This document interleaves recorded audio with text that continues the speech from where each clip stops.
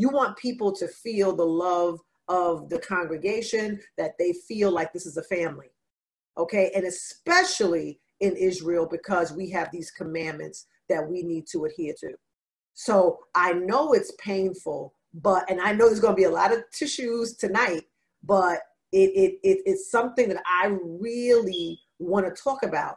Uh, because we these this is part of the healing of the nation because death is from life. And I tell you, the other night when the bishop brought out that scripture about, you know, that uh, the grave is like a woman's womb, baby, that hit me like a ton of bricks. I was complete, I, mind completely blown at that point.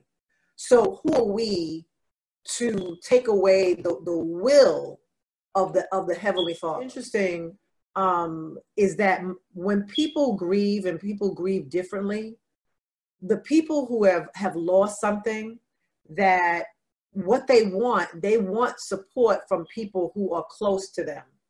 They, they, they want acknowledgement of the grief. They want people to pray for them. They want to kind of use your strength, your courage um, with them. And you can never replace the loss of a child even if someone like my both my grandmothers had 12 children. And as their sons and their daughters had died they still going to talk about their babies. Okay mm-hmm. still. So don't don't say to someone oh well you have you know 10 other kids. They're still going to be mourning the two that they lost.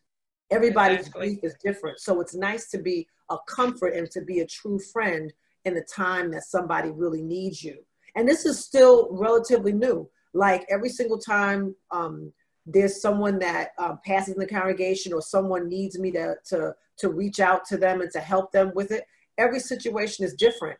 Every sister, every family, they need something different.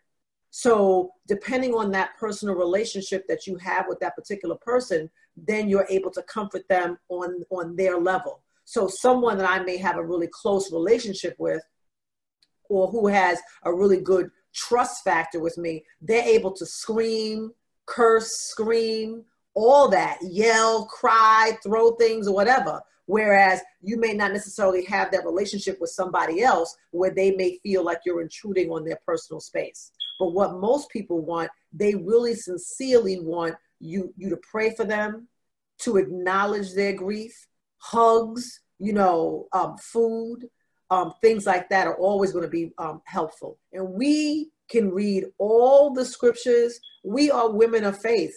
And I can read all the scriptures about death.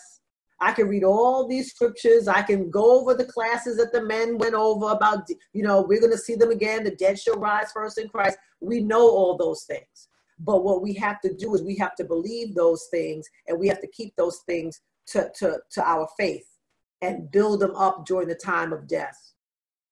Someone just put in there that she had a stillborn 30 years ago and she still remembers it like it was yesterday. So the pain is still going to be there for a long time. Another phase is anger and bargaining. It is not uncommon for someone who is grieving to experience feelings of anger or frustration. Some people may feel angry at a person who caused a loss, such as a drunk driver. Others may feel feelings of anger directly directed towards God or a higher power for not preventing the loss.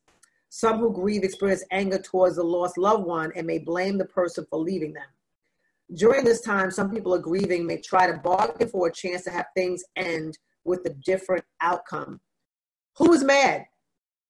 Who's mad? Who's mad at God? Let's be honest.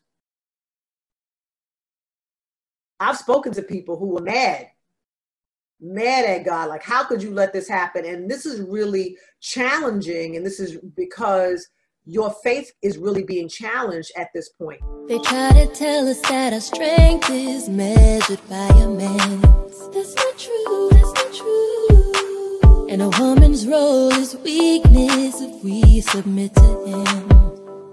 Lies, lies, lies. But we know our true power.